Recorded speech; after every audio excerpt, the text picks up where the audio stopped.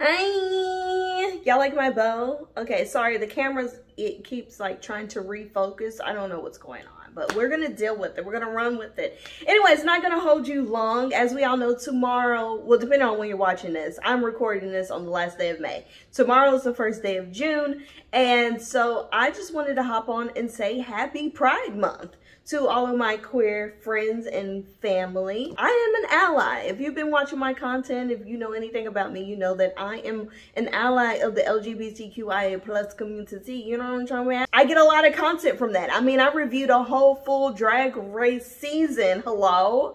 So yeah, if you are not familiar with, you know, the Pride Month celebration, if you are on the fence of whether or not you're an ally or if you're on the fence of whether or not you are a part of the community, I suggest you know, use this month, use this time to do some research, do your own reading, formulate your own opinions. But baby, love is love. And at the end of the day, because I know, I know the children, I know the dolls, I know the girls, I know the people, they love to throw around religion and say, well, it's, it's Adam and Eve, not, not Adam and Steve and bibbidi bobbidi boop. And, and I respect all of that. But at the end of the day, even if you are someone who does not uh, support pride, um, at the end of the day, if you are a Christian anyway, Jesus and God is love, and He says to love everyone in the same way. And so, therefore,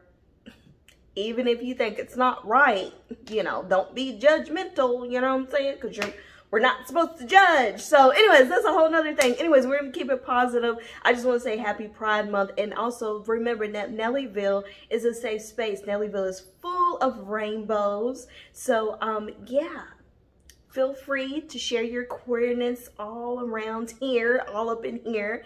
And um, let me know. Come reach out to me on the socials. Let me know what are you going to do for Pride Month? How are you going to celebrate?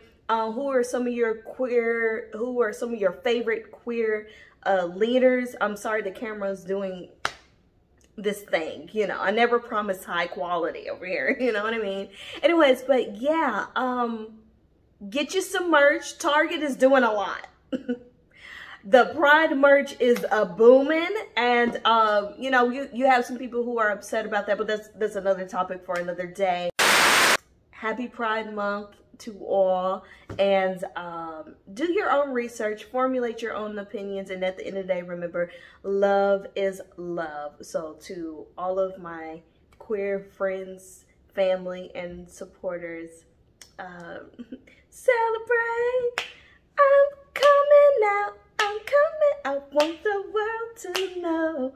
Got to let it show. I'm just saying, Diana, Diana Ross was a supporter. That's all I'm saying. You know, the Queen Diana, the lady Diana Ross was a supporter with the I'm coming out. What y'all thought she was singing about? Hello? Anyways, ladies and gentlemen, bye.